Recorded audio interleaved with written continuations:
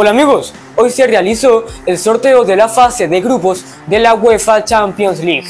El Shakhtar Donetsk de Kevin Kelsey, que tendrá su primera experiencia en Champions, estará en el grupo H, junto con el Barcelona, el Porto y el Royal Antwerp. Difícil grupo para el delantero de 18 años, que busca ganarse un puesto con el equipo ucraniano, ya que en el último partido se quedó en la banca.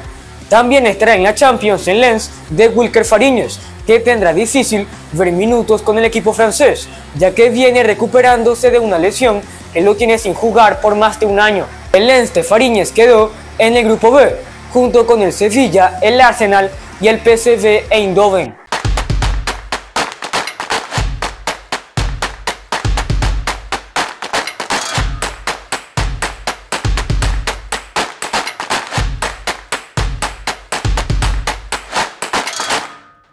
Velasco Segovia no llegará a Portugal. Dice el diario Record que el Casapía de la primera división descartó al mediocampista de 20 años, ya que no pudieron llegar a un acuerdo en la negociación. Segovia que pedía tres años de contrato. El mediocampista seguirá en la búsqueda de equipo.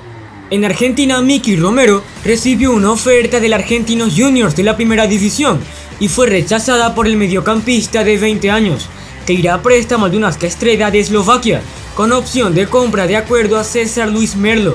En las próximas horas será oficial la cesión del jugador del Monagas. En la MLS, el Cincinnati de Junior Moreno es el primer equipo de la MLS clasificado al playoff, siendo líderes de la conferencia este y ganando 1-2 al Atlanta United, con Moreno en un buen nivel, entrando en el entretiempo y dando esta asistencia.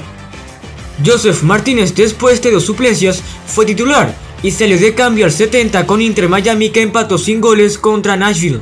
José Brujo Martínez jugó todo el partido y Jesús Bueno que entró al 69 salió expulsado al 97 por esta patada y luego se encaró con Lorenzo Insigne en la caída del Philadelphia Union 3 a 1 contra Toronto. Christian Macun convocado con la selección se quedó en la banca sin jugar con New England que ganó 1-0 al New York Red Bulls de Wickelman Carmona que entró al 64. Macun que está sin ritmo no juega desde el 10 de junio. Sergio Córdoba entró al 78 con el Vancouver Whitecaps que ganó 0-1 al Chicago Fire. En la Serie B de Italia, luego de varias titularidades, Jordan Osorio fue suplente y entró al 59 con Parma que ganó 1-2 al Pisa de Ernesto Torregrosa, que no fue convocado por lesión. En la Liga Colombiana, César Farías está invicto con 7 partidos sin perder.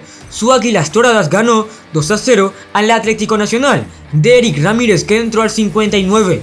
José Contreras jugó todo el partido dejando su arco en cero y Oscar Hernández entró al 59 el Águilas de Farías es líder de la liga con 15 puntos y un partido menos. En Estudiantes de Mérida, el presidente del académico Raúl Carreño dijo que tiene un acuerdo de palabra para que el mediocampista Angelo Peña regrese a Mérida la temporada que viene.